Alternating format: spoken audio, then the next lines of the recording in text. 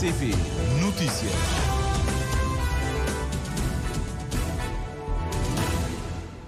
Dezenove horas em Cabo Verde.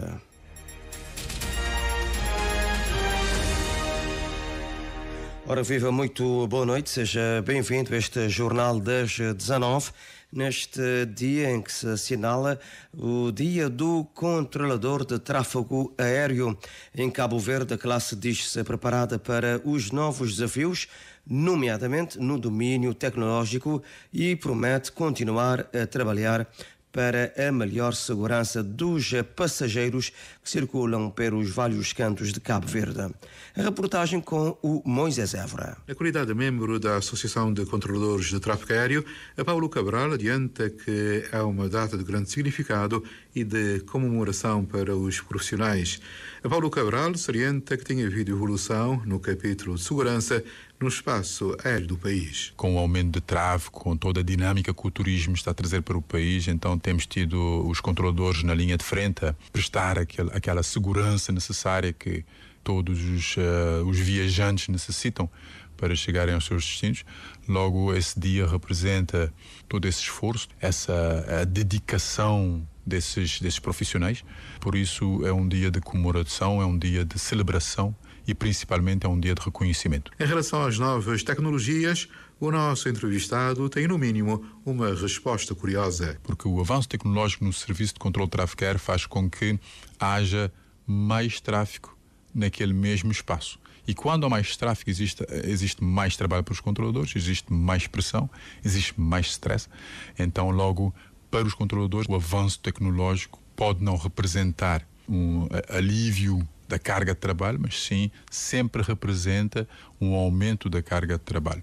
Logo, a necessidade de, de investir no treinamento dos, dos, controladores de tráfego aéreo, investir na sua capacitação, na sua melhoria, é fundamental. E em tempo de guerra, como é o trabalho do controlador de tráfego aéreo? A responsabilidade cresce, a pressão cresce também e o stress aumenta ainda muito mais, porque quanto à guerra existem sempre muitas uh, uh, os desvios de aeronaves, esses desvios provocam também uh, outros conflitos. Uh, não só isso, mas também o facto de que a atenção deve ser redobrada porque existem certos aeronaves que são proibidas, que podem ou não entrar no nosso espaço aéreo. Então, que antes podiam, mas que em tempos de guerra já são, já são proibidos. Então, obviamente, para esses, para esses profissionais, os controladores de tráfego aéreo, em tempos de guerra existe sempre uma pressão, uma pressão acrescida, um stress uh, maior existe a pressão governamental, existe a pressão que o serviço já impõe também relativamente à, à, separação das aeronaves e também a aceitação das aeronaves no seu espaço aéreo, mesmo em termos de níveis ou em termos, de, em termos mesmo de acesso ao espaço aéreo. Paulo Cabral disse também que a classe promete continuar a trabalhar visando a melhor segurança dos passageiros. O dia não passa despercebido e haverá um programa restrito aos elementos da classe. E sob o lema Praia Limpa é outra pinta, uma associação sem fins lucrativos organizou hoje na capital cabo-verdiana e na praia da Gamboa uma campanha de sensibilização em prol da preservação das praias e ecossistemas marinhos. O objetivo foi sensibilizar a sociedade para os males e riscos que a falta de saneamento e cuidados podem constituir para a proliferação da dengue.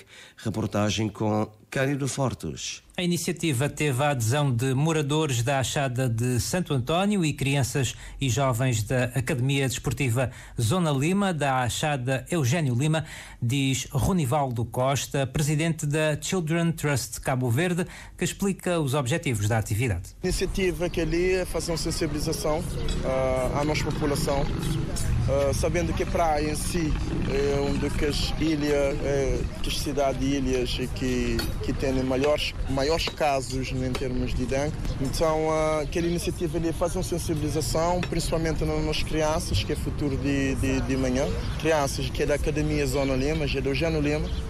Uh, então não trazer ali já para sensibilizar, para mostrar que realmente é já que é futuro de Cabo Verde.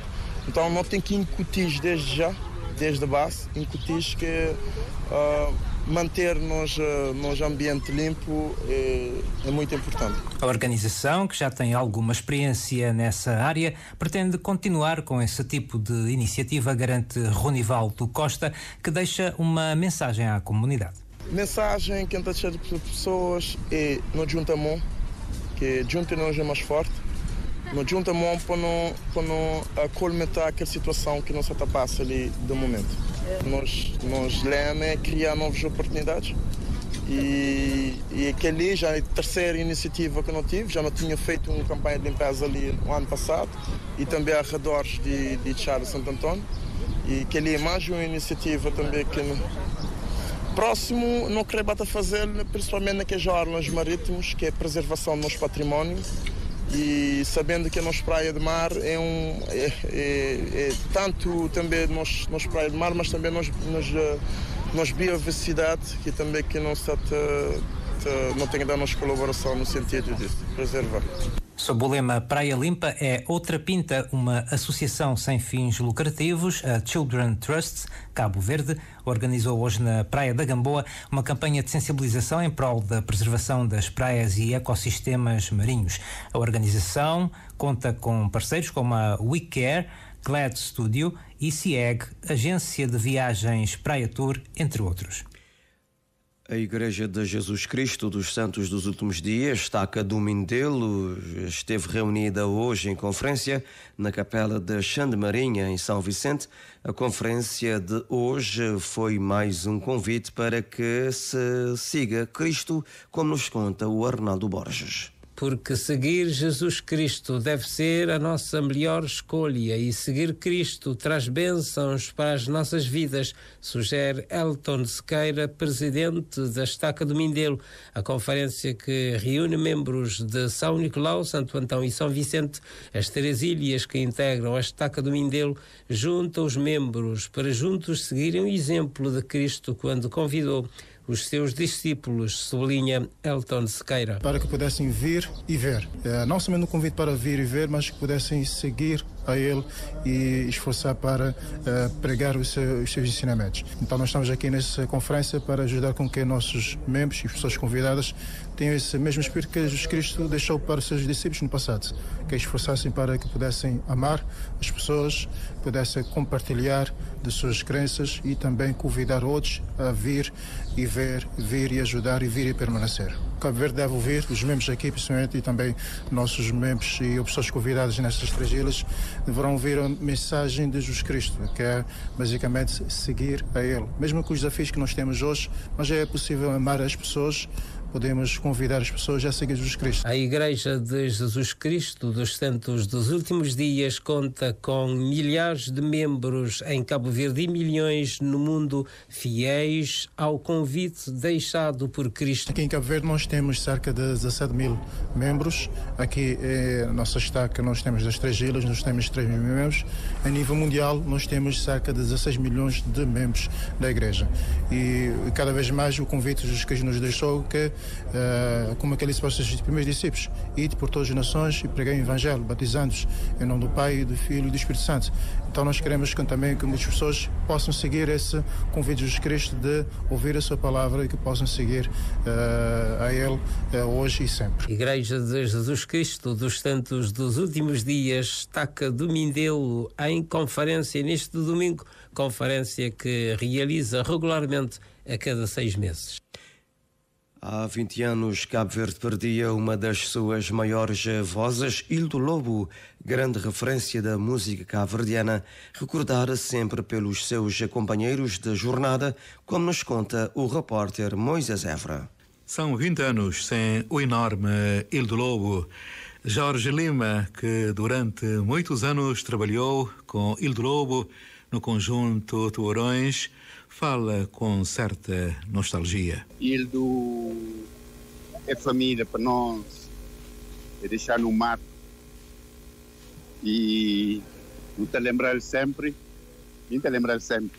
Mas hoje em particular, é aquele dia que ele falece, 20 anos, tem que ouvir essa música e te recordar tristemente, mas com alegria também ao mesmo tempo, como esse pensamento é forte para mim. Para Tubarões, aguenta 20 anos sem Hildo, maneira que tem sido? Primeiro, é difícil, foi difícil, mas não tenta superar para a entrada de outros e para não conservar essa ideia, essa maneira de ser, mas nunca ninguém quer substituir Hildo, não? Porque ele tem uma particularidade de ser e ser voz, além de ser voz, coisa que era muito, muito uh, importante para nós, essa simplicidade, essa maneira de ser uh, entre nós, com família, com amigos. Portanto, é cá foi, é cá, é cá é fácil. Jorge salienta também que é importante no dia de hoje que todos recordem Hildo ouvindo a música que ele interpretou. É por ser música, porque alguém que é homenageado na vida, a vida que é homenageado alguém, mas que nunca consegui, alguém que nunca consegui, portanto, para mim, homenagear a melhor coisa é nos estar em paz.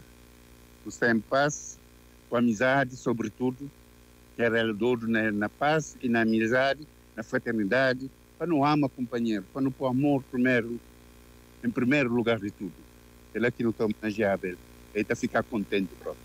Já lá vão 20 anos, mas praticamente todos os dias ouve-se o cantar de Ildo Lobo, nomeadamente aqui, na Rádio de Cabo Verde. Cumpri um destino,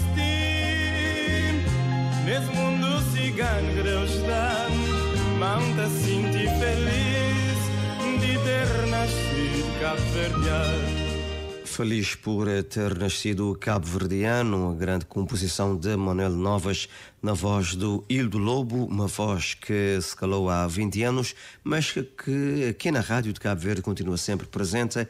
O Hildo Lobo uh, faleceu, portanto, num dia como hoje, no dia 20 de outubro, há uh, precisamente 20 anos.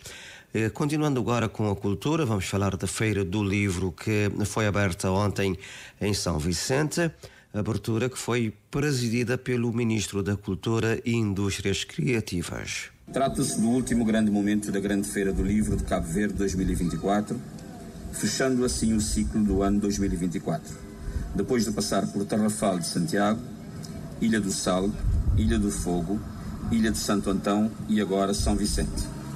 É, pois, com grande regozijo que hoje presido o ato de abertura deste grande evento cultural. Envolvidos cerca de seis meses após a retoma da Grande Feira do Livro, na cidade da Praia, estamos aqui não só para fazer a abertura desta Feira do Livro em São Vicente, mas também para encerrar o ciclo da Grande Feira do Livro de Cabo Verde, edição 2024. 2024, a Feira do Livro em São Vicente, que vai até 23 de eh, outubro, ou seja, até a próxima quarta-feira, e que conta igualmente com a presença da Presidente do Conselho Diretivo da Biblioteca Nacional. Este é um momento de fazer um balanço. E o balanço que fazemos da, das várias edições que já foram realizadas neste ciclo da Grande Feira é francamente positivo. Digo isso porque é, ultrapassou todas as nossas expectativas. E digo isto porque as nossas expectativas foram sempre elevadíssimas. Eu penso que esse rigor eh, e essa aposta nos campos em que aparentemente parecem não ser muito fáceis, ali é que está o ganho. Penso que quanto mais livros conseguirmos distribuir um pouco por todos os cantos de Cabo Verde, fazer chegar os livros a todos os cabo-verdianos, é, é essa uma das nossas missões. Presidente do Conselho Diretivo da Biblioteca Nacional, Matilde Santos, a propósito da feira eh, do livro de Cabo Verde, que uh, começou ontem e vai até quarta-feira, dia 23 de outubro. Estamos na reta final deste Jornal das 19, quando temos 19 horas e 15 minutos. O secretário-geral das Nações Unidas, António Guterres, condenou hoje os assassinatos em Moçambique, em Moçambique de dois apoiantes do candidato presidencial Venâncio Modelante e também apelou a uma rápida investigação dos acontecimentos. Um porta-voz adjunto de Guterres disse em comunicado que o Secretariado-Geral da ONU condena as mortes em Maputo de Elvino Dias, advogado de Venâncio Modelante, e Paulo Guambe, mandatário do povo otimista para o desenvolvimento de Moçambique, Podemos, assim se chama o partido, e que apoia o candidato presidencial eh, mortos a tiro na sexta-feira à noite. António Guterres apela também a todos os moçambicanos, eh, incluindo os dirigentes políticos e os seus eh, apoiantes, a manterem a calma, exercerem contenção e a rejeitarem todas as formas de violência antes do anúncio oficial dos resultados das eleições do dia 9 de outubro. No comunicado hoje divulgado, António Guterres reitera ainda a solidariedade das Nações Unidas para com o povo de Moçambique e reafirma o seu apoio inabalável à paz e à estabilidade durante esta, diz António Guterres, importante fase da história do país. A polícia moçambicana confirmou ontem à agência Lusa que a viatura em que se seguiam Elvino Dias e Paulo Guambe foi alvo de uma emboscada. As eleições gerais de 9 de outubro incluíram as sétimas eh, presenciais, as quais já não concorreu o atual chefe de Estado, Filipe News, que atingiu o limite de dois mandatos em simultâneo, com as sétimas legislativas e quartas para as assembleias e governadores providenciais. A Comissão Nacional de Eleições de Moçambique tem 15 dias eh, após o fecho das urnas para anunciar os resultados oficiais das eleições, data que se cumpre em 24 de outubro, próxima semana, cabendo depois ao Conselho Constitucional a proclamação dos resultados depois de concluída a análise de eventuais recursos, mas sem um prazo definido para esse efeito. Vanâncio Mondelandes garantiu eh, ontem que, após o anúncio dos resultados das eleições gerais, vai recorrer ao Conselho Constitucional com as atas e editais originais da votação. O governo português, a União Europeia e as representações diplomáticas em Maputo, Moçambique, e também representantes dos Estados Unidos, do Canadá, Noruega, Suíça e do Reino Unido condenaram o duplo homicídio entre eh, apelos a uma investigação cabal e rápida. Diz a comunidade internacional que Moçambique deve mostrar ao mundo que as eleições decorreram da melhor forma.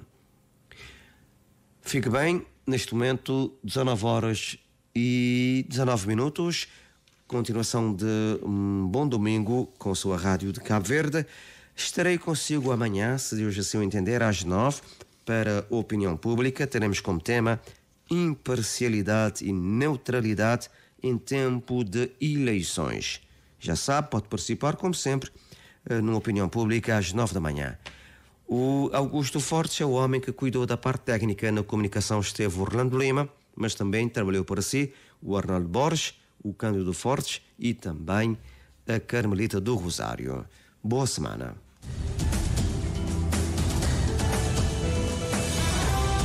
Mais informações em www.rtc.cv e na aplicação RTC Mobile. RCV, o rigor da notícia e o melhor da informação a cada hora.